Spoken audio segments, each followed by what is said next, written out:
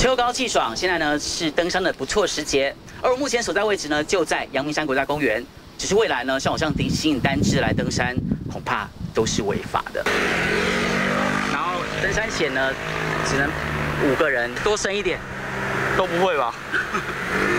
对啊，这是一个很智障的政策，谁发谁发明的啊？你刚刚说什么？阳明山怎样？阳明山这么危险的话，没有山可以爬啊。嗯嗯嗯，未来可能都是违法的。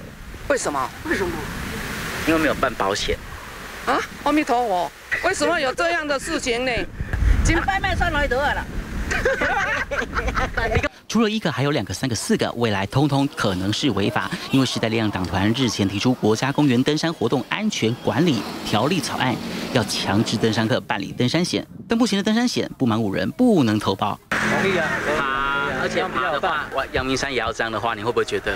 我觉得有点有点那个，对。如果是只有两四个人的家庭怎么办？对啊，对啊，所以我是觉得有点过分一点的。夫妻的话应该可以。啊，不足五个啊。不足五个，还要再叫找另外一户喽。这很麻烦，还是要多生一点。